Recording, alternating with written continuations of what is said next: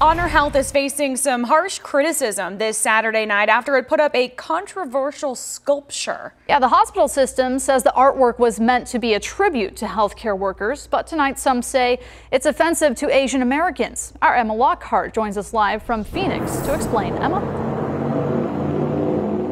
Whitney Kim, we have been reporting on the rise in anti-Asian hate and violence in this country during the pandemic. That's why activists I spoke with say they are shocked and hurt. HonorHealth put up this sculpture many are calling racially and culturally insensitive. I was first shocked and then infuriated. Tonight, outrage from the Asian American community over this sculpture. Activist Susan Kastner calling out HonorHealth for proudly putting it on display. It astounds me that they didn't know what has to happen for corporations to understand that that isn't acceptable. The artwork depicts a Chinese dragon, glowing orb, and healthcare worker. In a description, it says the dragon represents the location of the first reported COVID 19 cases. The glowing orb represents the virus, while the healthcare hero shows the bravery of those on the front lines.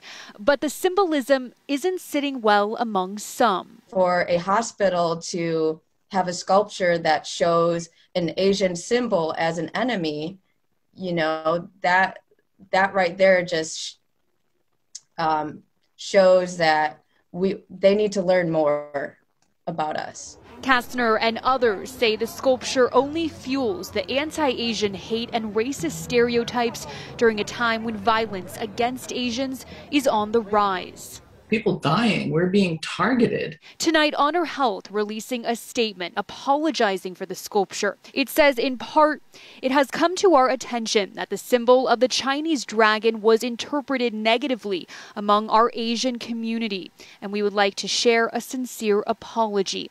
Just as we do not turn any culture, race, or religion away from being treated at our hospitals, we would not want to discriminate toward anyone in that same light. It goes on to say the sculpture is now taken down, but those in the Asian American community say the pain runs deep.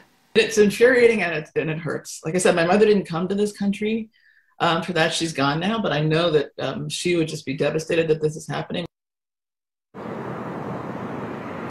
And a spokesperson for HonorHealth says all social media posts showing this sculpture were taken down as well. We will have a, uh, a full statement um, from the hospital system online at azfamily.com. Reporting live in Phoenix, Emma Lockhart for Arizona's Family.